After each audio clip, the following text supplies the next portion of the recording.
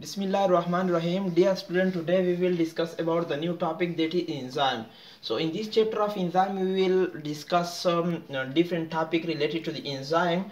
So first of all, we will discuss about what is enzyme, कि enzyme basically है क्या चीज़ ये enzyme का लफज किसने इस्तेमाल किया था इंजाइम की डिस्कवरी किस तरह हुई थी और इंजाइम का फ़र्स्ट डिफिनीशन किस तरह था जो मॉडर्न डिफिनीशन है वो किस तरह है प्रीमिटिव डिफिनीशन इसका किस तरह है फ़र्स्ट टाइम आइडिया किसने प्रपोज किया था किस बुनियाद पे कहा था इसके साथ साथ हम ये भी एक्सप्लेन करेंगे कि क्या ऐसे भी रिएक्शन है जो इंजाम के बगैर पॉसिबल है या मौजूद है या इंजाम के बगैर chemical reaction without enzyme chemical reaction is possible or not और इसके साथ जो रिलेटेड टर्मिनोलॉजी है इंजाम के साथ वो भी हम इस लेक्चर में एक्सप्लेन करेंगे और जो नेचर है टाइप है इंजाइम के, वो भी एक्सप्लेन करेंगे। So first of all we will explain the word enzyme so enzyme लफज की मीनिंग क्या है डियर स्टूडेंट इंजाइम का जो लफज है, ये दो अल्फाज उससे आया हुआ है। एक है इन जिसका मतलब है इनसाइड और सेकंड है जाइम जिसका मतलब है ईस्ट तो इसका मतलब क्या हुआ? इंजाइम का कि इनसाइड द ईस्ट अब इनसाइड दी इसका मतलब क्या है? इसका मतलब ये है कि फ़र्स्ट टाइम ये इंजाइम जो डिस्कवर हुआ था, वो इसके अंदर जो एक फंजाई है यूनिसेलुलर फंजाई है बिसिडियो माइकोटा डिवीज़न से इसकी ताल्लुक है, इसमें फ़र्स्ट ऑफ़ ऑल डिस्कवर हुआ था, इसलिए इसको नाम भी इंजाइम दिया। इंजाइम की लफ्जी जो वर्ड इंजाइम है, इसकी मीनिंग क्या है? अगर हम इस वर्ड के टाइमोलॉजी को देखें डिराइवेटिव को देखें तो ये दो ग्रीक वर्ड से आया हुआ है। एक है इन जिसका मतलब है इनसाइड और सेकेंड है जाइम जिसका मतलब है ईस्ट यानी जिसको हम उर्दू में हमीर भी कहते हैं तो ईस्ट के इनसाइड तो यहाँ पे इसका क्या मतलब बना कि ईस्ट के इन इनसाइड ये फ़र्स्ट टाइम डिस्कवर हुआ था। इस ईस्ट के अंदर फ़र्स्ट टाइम आइसोलेट किया था। इस ईस्ट के अंदर इसी वजह से इसको नाम भी ये इंजाइम दिया गया। तो ये लफज इंजाइम किसने इस्तेमाल किया था? The term enzyme it was first time use by Kuhne ये एक साइंटिस्ट था कोहनी इसने सबसे पहले इंजाइम को इंजाइम का लफज इस्तेमाल किया था। और यहाँ पे एक टर्म हम इस्तेमाल करते हैं इंजाइमालॉजी जो इंजाइम की स्टडी है, इसको हम इंजाइमालॉजी कहते हैं। इसके साथ एक और रिलेटेड टर्म हम इस्तेमाल करते हैं जाइमालॉजी जाइमालॉजी फर्मेंटेशन के स्टडी को कहते हैं और वो हम रिस्पायरेशन के चैप्टर में बायो एनर्जेटिक के चैप्टर में पढ़ेंगे कि जो फर्मेंटेशन है, इसके स्टडी को हम जाइमालॉजी कहते हैं। और इंजाइम के स्टडी को हम इंजाइमालॉजी कहते हैं और एक और टर्म हम इस्तेमाल करते हैं जाइलोजी जाइलोजी वुड के स्टडी को कहते हैं। जो वुड है ये हम आगे क्लासेस में एक्सप्लेन करेंगे वुड के बारे में भी। तो इंजाइम के बारे में फ़र्स्ट आइडिया किसने पेश किया था? पहले पहले इंजाइम के बारे में जो ख्याल, जो स्टेटमेंट स्टार्ट की थी, जो बयान की थी, वो था ल्यूस पास्चर जिसको फादर ऑफ़ माइक्रोबियोलॉजी भी कहते हैं। इसने इंजाइम के बारे में सिर्फ़ इतना ही कहा कि कुछ ऐसे बायोलॉजिकल मलिक्यूल है, कुछ ऐसे मलिक्यूल है जो फार्मेंटेशन उसने इंजाइम को इंजाइम नहीं कहा। इंजाइम के बारे में इतना कॉन्सेप्ट नहीं था, लेकिन इंजाइम के बारे में सिर्फ़ जो ख्याल पेश किया था, बाद में ये ख्याल को इंजाइम में चेंज हुआ जो पास्टर ने बात की थी ये जो पहला आइडिया पेश किया था, उस ख्याल को दोबारा फिर साइंटिस्ट ने कहा कि ये असल में एक इंजाइम थी। तो पास्टर ने क्या कहा? पास्टर ने सिर्फ़ इतना ही कहा कि जब फर्मेंटेशन होती है, for fermentation there are certain chemical responsible for this fermentation and he called it this chemical ferment उसने कहा कि फर्मेंटेशन के दौरान कुछ केमिकल इस्तेमाल होते हैं, वो इसके लिए रिस्पॉन्सिबल है। फर्मेंटेशन प्रोसेस आप लोग पढ़ लेंगे, आगे चैप्टर बायो एनर्जेटिक में। और उस केमिकल को उसने लफज फार्मेंट इस्तेमाल किया था, लेकिन पता उसको नहीं था कि बेसिकली ये फार्मेंट है क्या चीज़। बाद में मालूम हुआ कि ये असल में एक किस्म की इंजाइम है। तो फ़र्स्ट टाइम जो आइसोलेशन हुई थी या फ़र्स्ट टाइम जो डिस्कवरी हुई थी इंसान के, वो किसने की थी?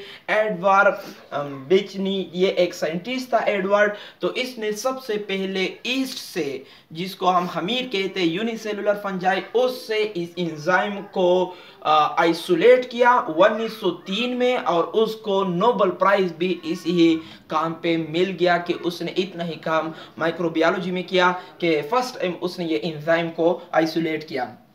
ये भी याद रखना कि आइसोलेशन या डिस्कवरी एडवर्ड ने की थी, और ये जो एडवर्ड है, उसने ये जो आइसोलेशन की थी, ये भी इससे की थी, उन्नीस में, और उसको नोबल प्राइज भी इस पे मिला था। तो सबसे पहले डिफिनीशन इंजाइम के बारे में जब आइसोलेट किया था एडवर्ड ने तो पहले साइंटिस्ट इस इंजाइम के बारे में किस तरह जानते थे इसको किस तरह डिफाइन करते थे? तो साइंटिस्ट का जो फ़र्स्ट डिफिनीशन था, वो यही कह रहे थे biological molecule that enhance a chemical reaction scientist यही कहते हैं कि ये कुछ बायोलॉजिकल मोलिक्यूल है जो एक केमिकल रिएक्शन को इन्हांस करते हैं, एक केमिकल रिएक्शन को तेज करते हैं। ये उसकी पहली डिफिनेशन थी। जब मॉडर्न डिफिनेशन की तरफ़ अगर हम देख ले तो साइंटिस्ट ने थोड़ा बहुत इसमें एडिशन कर दी, इस डिफिनेशन में। ये जो पहले डिफिनेशन है, उसमें कुछ थोड़ा बहुत इजाफा कर दिया कुछ वर्ड्स की। साइंटिस्ट ने कहा कि enzyme are the biological catalyst or biological molecule that enhance the chemical reaction or increase the chemical reaction or speed up the chemical reaction but cannot use itself in the chemical reaction उसने ये कहा scientist ने कि ये कुछ biological molecule है catalyst है जो एक केमिकल रिएक्शन तो तेज तो करते हैं लेकिन खुद उस रिएक्शन में इन्वॉल्व नहीं है। खुद उस रिएक्शन में इस्तेमाल नहीं होती, बल्कि सिर्फ़ एक केमिकल रिएक्शन को प्रमोट कर लेते हैं, तेज कर लेते हैं। इसके एक्सप्लेनेशन आगे लेक्चर आपको मिल जाएगा कि ये स्टेटमेंट किस बुनियाद पे दिया था। इसके बाद अब हम ये पढ़ेंगे कि without enzyme chemical reaction is possible or not क्या इंजाइम के बगैर केमिकल रिएक्शन पॉसिबल है या नहीं? तो ये बात डियर स्टूडेंट याद रखना, जी इंजाइम एक मशीनरी का बायोकेमिकल मशीनरी जितनी भी है, एक लिविंग ऑर्गेनिज्म के अंदर, इसका जो मेन एजेंट है, जो मेन ऑपरेटर है इस बायोकेमिकल मशीनरी का मेन चलाने वाला, वो है इंजाइम तो हम कह सकते हैं कि इंजाइम के बगैर तो केमिकल रिएक्शन ये तो आप नहीं इम्पॉसिबल है, इस तरह वर्ड तो इस्तेमाल नहीं कर सकते, बल्कि ये कह सकते हैं कि एक इंजाइम के बगैर केमिकल रिएक्शन इतना ही स्लो होता है कि हम इसको निगलेजेबल करते हैं, हम इसको नजरअंदाज कर लेते हैं. और इसके लिए यहाँ पे मैंने एक मिसाल मेंशन की है कि फॉर एग्जांपल यहाँ पे जब भी कार्बन डाइऑक्साइड मिलते हैं एच टू वाटर के साथ, यहाँ पे की इंजाम इस्तेमाल होती है जिसको कहते हैं कार्बनिक एनहाइड्रेज तो जब कार्बनिक एनहाइड्रेज इंजाइम मौजूद हो उस दौरान जब कार्बन डाइऑक्साइड और H2O की मिलाप होती है तो इस नतीजे में बनती है कार्बनिक एसिड मतलब जब भी कार्बन डाइऑक्साइड H2O मिलते हैं तो उससे बनते हैं कार्बनिक एसिड तो यहाँ पे गौर से देख लेना डियर स्टूडेंट इंजाइम की मौजूदगी में जब ये दो चीज़ें मिलते हैं और कार्बनिक एसिड बनते हैं तो एक सेकंड में छह लाख मालिक्यूल बनते हैं। संविधान कहते हैं साइंटिस्ट की यही व्यू है कि जब इंजाइम मौजूद हो तो इंजाइम की मौजूदगी में जब भी वाटर और कार्बन डाइऑक्साइड की मिलाप होती है और कार्बनिक एसिड बनती है तो एक सेकंड में छह लाख मालिक्यूल बनने की चांसेस है कि ये बन जाए, मिल भी जाए और कार्बनिक एसिड भी बन जाए एच और जब कार्बन डाइऑक्साइड और H2O की फ्यूज मिलाप होती यानी रिएक्शन करते हैं आपस में, और इस मौके पर जब इंजाइम एबसेंट हो कार्बनिक एनहाइड्रेज इंजाइम एब्सेंट है तो साइंटिस्ट कहते हैं कि 200 मॉलिक्यूल पर और बनते हैं। तो इससे आप अंदाज़ा लगा सकते हैं कि एक जब इंजाइम मौजूद नहीं एबसेंट है तो एक घंटे के अंदर 200 मॉलिक्यूल बनते हैं। लेकिन जब इंजाइम मौजूद है तो एक सेकेंड के अंदर 6 लाख मॉलिक्यूल मॉलिक्यूल बनते हैं।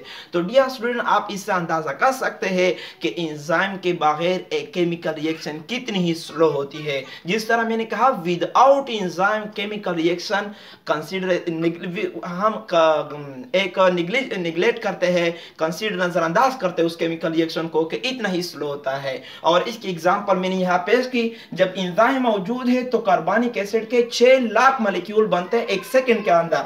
और जब इंजाइम एब्सेंट है, इसी सेम केमिकल रिएक्शन में तो 200 मॉलिक्यूल बनते हैं एक घंटे के अंदर। तो आप इससे अंदाज़ा कर सकते हैं कि how much the chemical reaction is slow without enzyme तो डियर स्टूडेंट ये तो जनरल एक व्यू थी इंजाइम के बारे में। अब हम रिलेटेड टर्म को इस्तेमाल करते हैं यहाँ पे कि इंजाइम के इस चैप्टर में जो टर्म जो टर्मिनोलॉजी हम इस्तेमाल करते हैं तो पहले से हम यहाँ पे एक्सप्लेन करते हैं, ताकि बार बार उसके एक्सप्लेनेशन की फिर ज़रूरत ना पड़ जाए। तो एक वर्ड हम इस्तेमाल करते हैं डियर स्टूडेंट सबस्ट्रेट इंजाइम में। सबस्ट्रेट क्या है? वो मलिक्यूल है जिसके साथ इंजाइम अटैच होते हैं। फॉर एग्जांपल ये हमारे पास एक मलिक्यूल है, ये इंजाइम है। तो ये इंजाइम इस मलिक्यूल के साथ अटैच होंगे तो ये जो मालिक्यूल है, इसको हम कहते हैं substrate that molecule at which enzyme attach जिसके पास, जिसके साथ इंजाम अटैच होती है तो इसको हम कहते हैं सबस्ट्रेट मालिक्यूल फॉर एग्ज़ाम्पल यहाँ पे हम देखते हैं ना कि ये जो दो मालिक्यूल आपस में मिलते हैं, इंजाम के मौजूद तो ये दो हमारे पास, ये एक सबस्ट्रेट के तौर पर काम कर लेते हैं. इस तरह हम देखते हैं कि प्रोटीन की ब्रेकडाउन के लिए इंजाम है प्रोटीज तो प्रोटीन एक सबस्ट्रेट के तौर पर काम करते हैं यहाँ पे. और जो एमाइलेज इंजाम है कार्बोहाइड्रेट की ब्रेकडाउन के लिए रिस्पॉन्सिबल है. तो यहाँ पे जो कार्बोहाइड्रेट है, वो एक सबस्ट्रेट के तौर पर इस तरह लाइपेज इंजाइम है जो लिपिड्स की ब्रेकडाउन के लिए रिस्पॉन्सिबल है तो लिपिड्स यहाँ पे एक सबस्ट्रेट के तौर पर काम करते हैं। यहाँ सेकेंड टर्म हम इस्तेमाल करेंगे एक्टिव साइट तो एक्टिव साइट क्या है? ये इंजाइम में वही जगह है देट पार्ट ऑफ़ इंजाइम ये इंजाइम में वो जगह है जिसके ज़रिए वो सबस्ट्रेट के साथ अटैच होते हैं। तो इंजाइम का वो हिस्सा जिसके ज़रिए वो सबस्ट्रेट के साथ अटैच होती तो इसको हम कहते हैं एक्टिव साइट और इसके अलावा एक और टर्म हम इस्तेमाल करेंगे एक्टिवेटर तो एक्टिवेटर क्या है? वो मॉलिक्यूल जो इंजाइम के एक्टिविटी को इन्हांस करते हैं, जो इंजाइम के एक्टिविटी को तेज करते हैं, जो इंजाइम के एक्टिविटी को प्रमोट करते हैं। तो ऐसे मॉलिक्यूल को हम कहते हैं एक्टिवेटर आ, जो इंजाइम को एक्टिवेशन कर लेते हैं इंजाइम को एक्टिव कर लेते हैं एक्टिविटी के लिए। तो ऐसे मालिक्यूल को हम एक्टिवेटर कहेंगे और एक लफ्ज हम इस्तेमाल करते हैं इनहेबिटर तो इनहेबिटर कौन से मालिक्यूल है? या कौन से एजेंट है, वो एजेंट है जो इंजाइम एक्टिविटी को स्टॉप कर लेते हैं।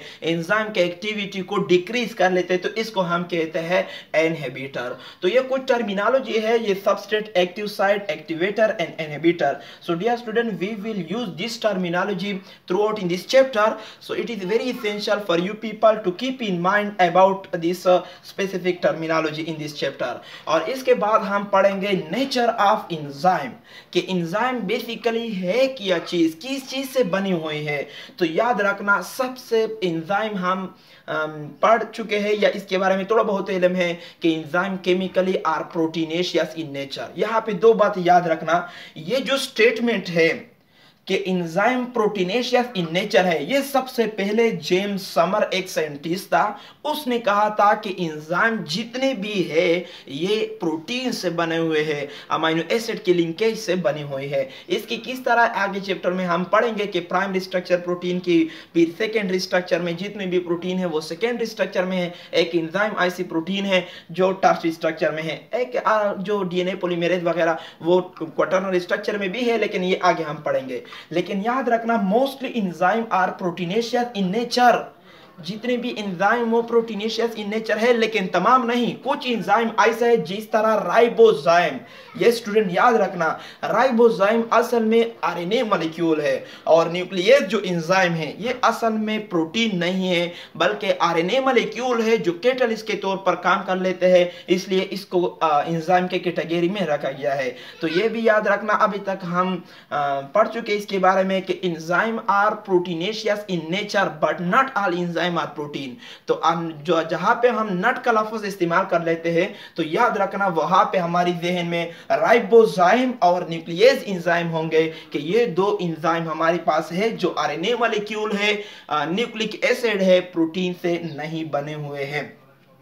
और ये जो प्रोटीनेशियस इन नेचर का स्टेटमेंट है, ये जेम्स समर एक साइंटिस्ट था, इसने पेश किया था। अब हम इसकी इन टाइप की तरफ़ आएँगे, ये जो कंपोजिशन है इंजाइम का, कि किस चीज़ से बनी हुई है, इस कंपोजिशन की बुनियाद पे इंजाइम को डिवाइड किया है दो ग्रुपों में। एक को दिया गया है नाम सिंपल इंजाइम एक को कंपाउंड कॉम्प्लेक्स या कंजुकेट इंजाइम कहते हैं। सिंपल वो इंजाइम है जो प्योरली प्रोटीनेशियस इन नेचर हो। मतलब जिसमें सिर्फ़ और सिर्फ़ अमाइनो एसिड मौजूद हो नॉन प्रोटीन पार्ट मौजूद ना हो तो ऐसे इंजाइम को हम कहते हैं सिंपल इंजाइम और दूसरे ग्रुप हमारे पास है कंपाउंड इंजाइम या कम्प्लेक्स इंजाइम ये वो इंजाइम होते हैं जहाँ पे प्रोटीन के साथ साथ नॉन प्रोटीन पार्ट भी मौजूद हो. तो ऐसे इंजाइम को हम कहते हैं कंपाउंड या कंजुकेट इंजाइम लेकिन यहाँ पे डियर स्टूडेंट याद रखना कुछ टर्म्स जो काफ़ी ज़्यादा कंफ्यूज कंफ्यूजन होती है स्टूडेंट के लिए उस टर्मिनोलॉजी उस टर्म में. एक बात याद रखना, जो प्रोटीन पार्ट है, उसको हम एपो इंजाइम कहते हैं। जो नॉन प्रोटीन पार्ट है, उसको हम प्रस्थेटिक ग्रुप कहते हैं। लेकिन ये नॉन प्रोटीन पार्ट फिर दोबारा डिवाइड हुआ है दो कैटेगरी दो ग्रुप में। अगर ये नॉन प्रोटीन पार्ट ऑर्गेनिक हो तो इसको हम को इंजाइम कहेंगे। अगर ये इनऑर्गेनिक हो तो इसको हम को फैक्टर कहेंगे। तो ये हमेशा के लिए याद रखना कि को इंजाइम और को फैक्टर में क्या फ़र्क है? जो नॉन प्रोटीन पार्ट है हम प्रस्थेटिक ग्रुप कहते हैं और ये प्रस्थेटिक ग्रुप फिर ये जो नॉन प्रोटीन पार्ट है, ये दोबारा डिवाइड हुआ है। अगर ये ऑर्गेनिक है तो इसको हम को इंजाइम कहेंगे। अगर ये इनऑर्गेनिक है तो इसको हम को फैक्टर कहेंगे। लेकिन ये भी याद रखना कि अगर आपसे कभी किसी ने पूछ लिया कि को इंजाइम और प्रस्थेटिक ग्रुप में क्या फ़र्क है तो याद रखना ये दोनों नॉन प्रोटीन पार्ट है। लेकिन ऑर्गेनिक ये जो को इंजाइम है, ये भी ऑर्गेनिक कैटेगरी में आता है ऑर्गेनिक और जो कोफैक्टर है, वो भी सॉरी जो प्रस्थेटिक ग्रुप है। लेकिन ये जो प्रस्थेटिक ग्रुप है, ये प्रोटीन पार्ट के साथ परमानेंट अटैच होती है।